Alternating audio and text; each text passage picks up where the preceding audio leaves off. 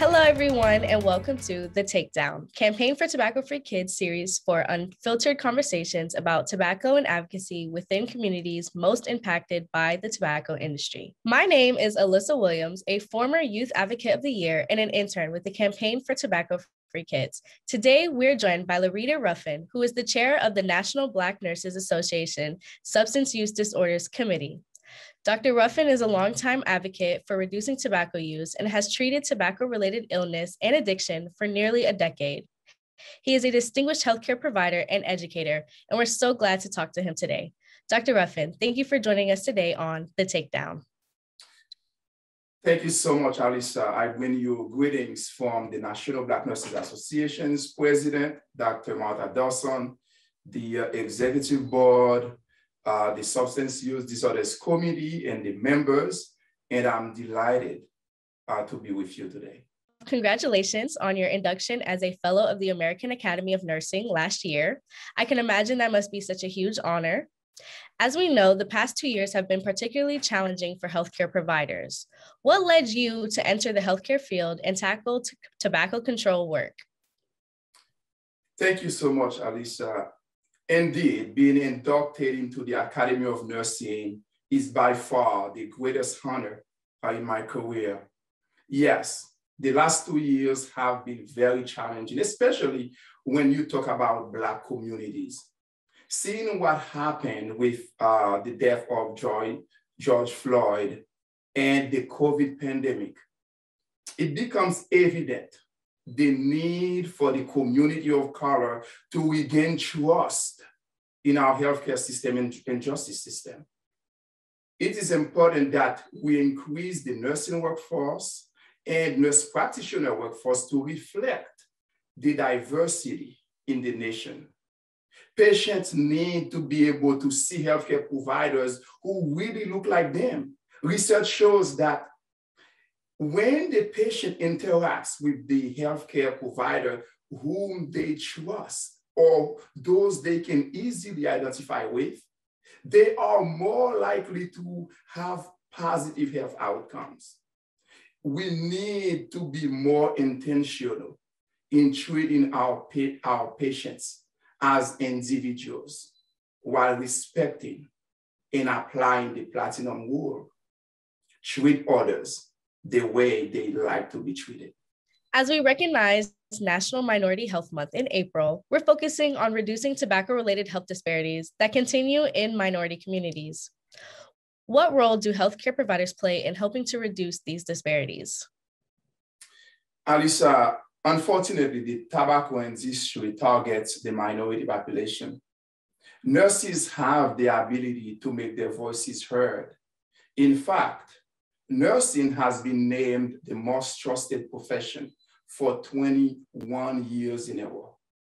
It was in 2001 during the, um, the attack, 9-11, uh, that's when the firefighters uh, rightfully uh, earned the title of most trusted profession, but nursing has long uh, been, been known to be a, a trusted profession.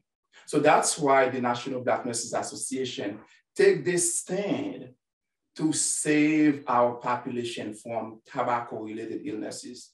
We need all nurses to use their trusted voices to work with organizations like NBNA and Campaign for Tobacco-Free Kids to make an impact.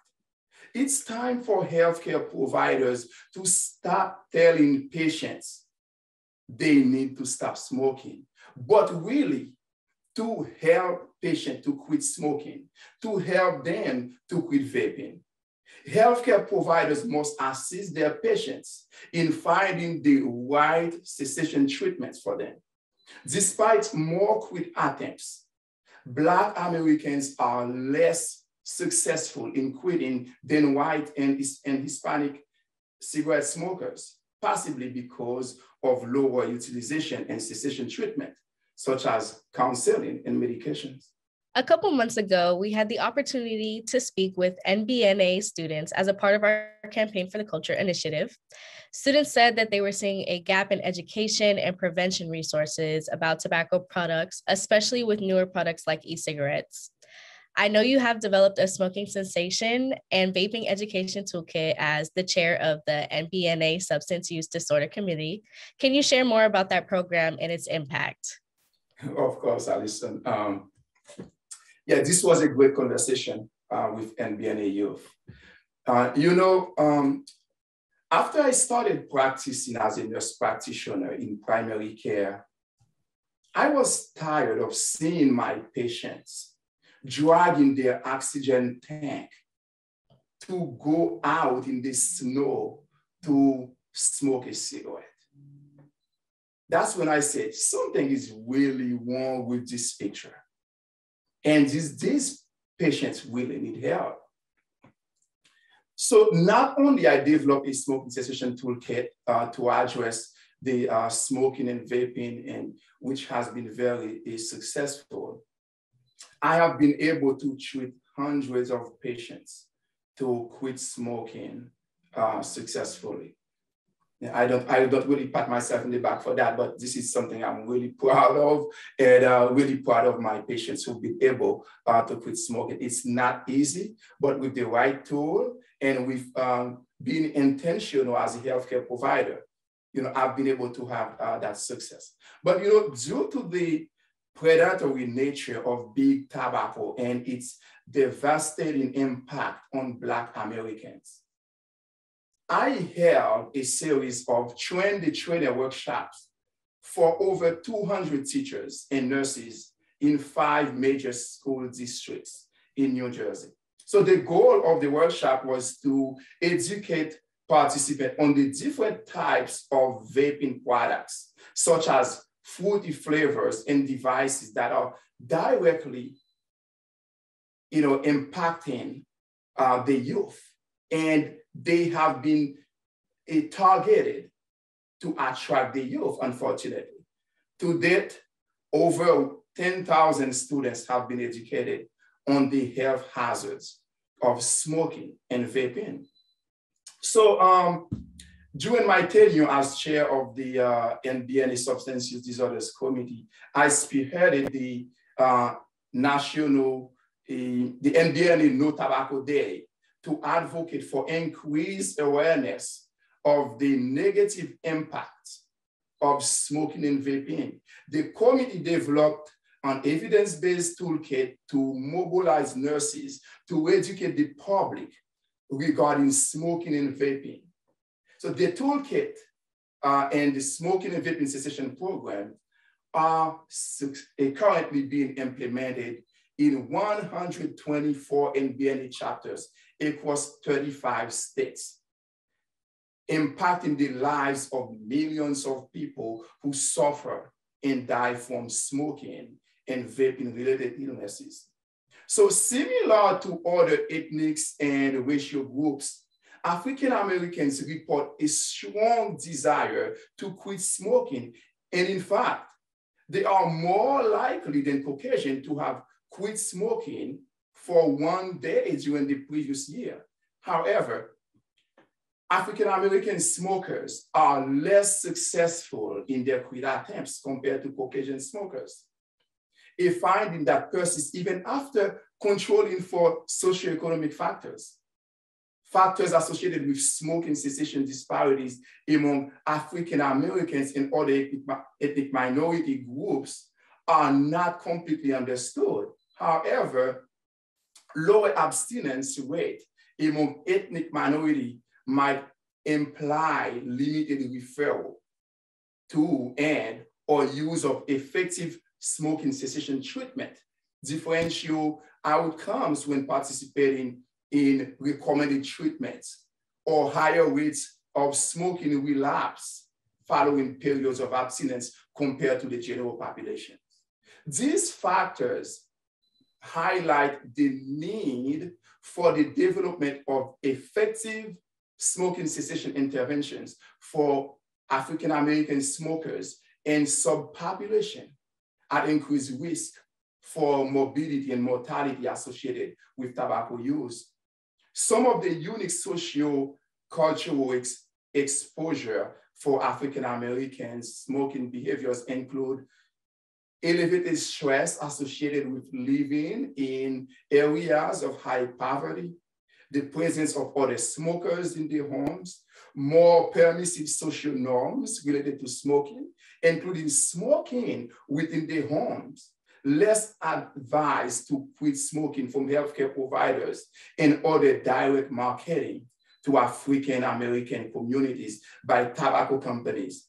These may also contribute to the widening gap we see in smoking cessation outcomes.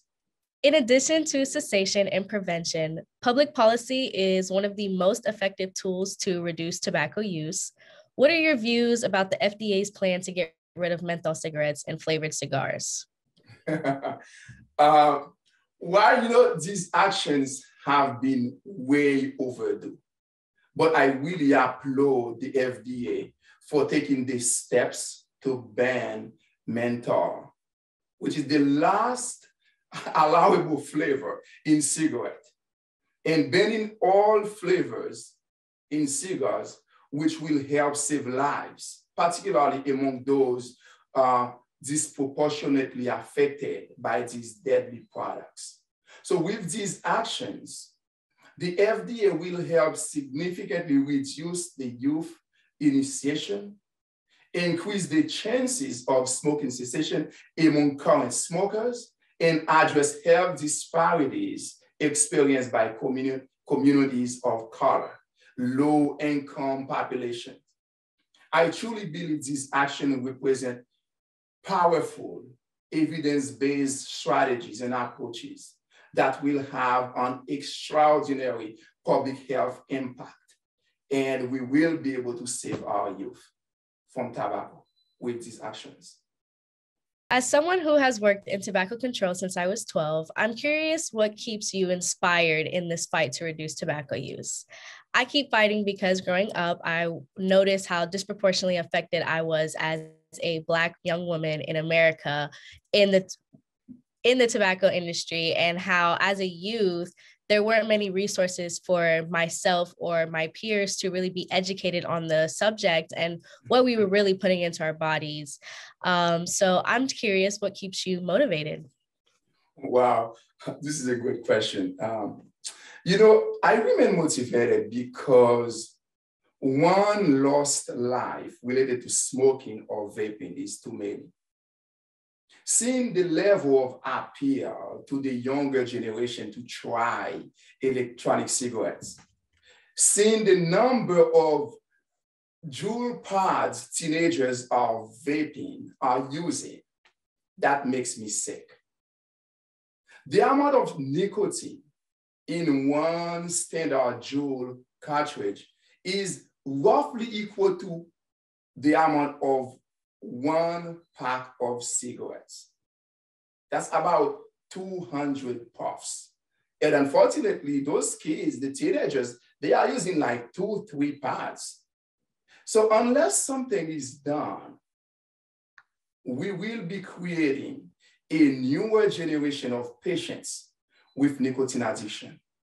You know, the brain is not fully developed until the age of 25. So when you have young kids, teenagers, using those high nicotine uh, contents or, or, you know, using multiple Juuls pads and um, the amount of nicotine they are getting is equivalent to three, four packs of cigarettes a day. When you have young kids doing that at an early age, we as a nation are setting them to fail. I believe we need to do everything we can to help our teens to understand the solution is to say no to nicotine, to say no to tobacco, and to say no to e-cigarettes. I dream of a world where no children dies of tobacco smoke. The same dream you have is, the, is my dream. Because I'm really tired and of, of seeing patient struggling to take a breath. And unless we help the population to understand it's not okay to keep using this product, regardless of how appealing they are, unless we take a stand and we help everyone to understand this is not okay. We will not get there. And you know, with the work campaign for tobacco free kids is doing, I truly believe, although the road is long, we will get there. Dr. Ruffin, thank you so much for taking the time to join us today. It has been an absolute pleasure speaking with you and engaging in such a valuable discussion. Make sure to check out the National Black Nurses Association and Tobacco Free Kids on social media. All our handles will be in the description below. And be sure to check out our other takedown conversations as well. Thank you again, and I hope you all have a great day.